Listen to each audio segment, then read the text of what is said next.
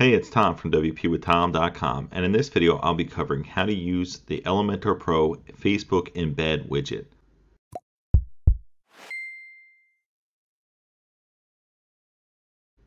So before we dive in, I just wanted to say that if you don't already have Elementor Pro, you can pick it up through WPWithTom.com slash Elementor, and it helps support the channel.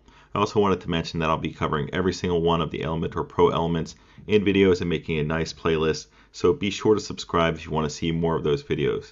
And with that out of the way, let's dive into this video. So the Facebook embed element is an easy way if you want to share your Facebook page and some recent posts directly on your website as well as videos if that's what you want to do. Alright, so the first thing we're going to do is we're going to actually scroll down and let's just add in a new section. So if I hit the plus icon, I'm going to add a two wide structured section right here and then I'll go over to the blocks icon and scroll down and we'll find this Facebook embed. And I'm just going to drag it in and I'm also going to do the same on the one next to it. Find the Facebook embed or you can actually make a copy of it. And then you're going to drag it over and just drop it in over here. So what I can do from here is I actually can go and change the type. So right now it says post video. If I wanted to change that to video, that's where I would do that. And it by default shows you an Elementor one right here. So let's just say I wanted to go, and I'm going to go in this one real quick first. I'm going to edit this and go over how to do a post.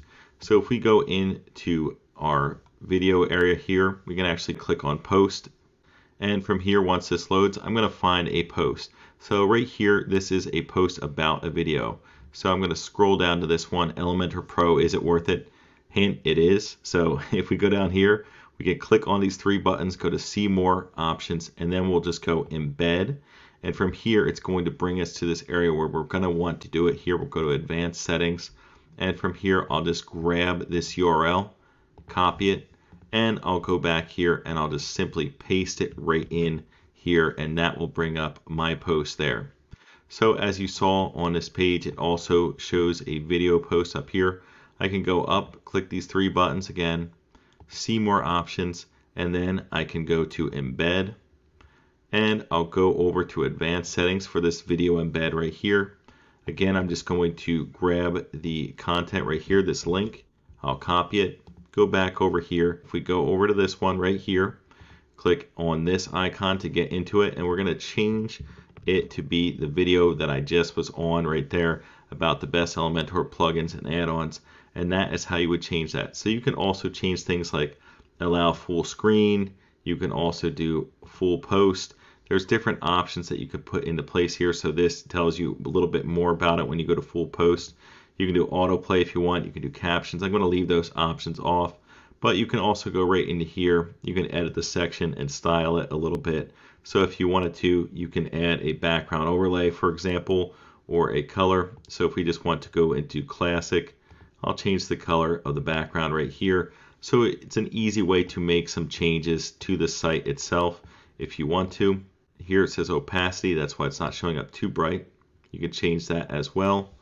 And for example, if we wanted to go and add some padding or something like that, we can go right in here. I'm just going to add 25 to all. And from here, I'm just going to go and click update. This is just a quick example showing you how to actually put these embed links right into your site here with Elementor Pro. So if we were to go back over and let's go and look at the site. If we go to visit site, I'll go to the about page where we were at. And if I scroll down, you can see that down here, this is the section that we just added with the post embedded and then the video embedded.